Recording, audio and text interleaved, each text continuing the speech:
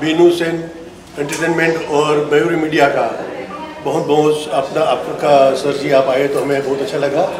हमारे दोस्त पुनीत खरे जी और बीनू सिंह गुप्ता का आज का ये इवेंट है। और आप जल्दी वापस जा रहे हैं हमें अच्छा नहीं लग रहा है। सर मैं आप यकीन करें मैं एडिटिंग चल रही है सुबह से बैकग्राउंड है। हिमांशु जी हमारे खास दोस्त है। मुझे मैंने पूछा ही नहीं किधर आना मैं आ गया लेकिन आप लोगों से मिलकर अच्छा लगा।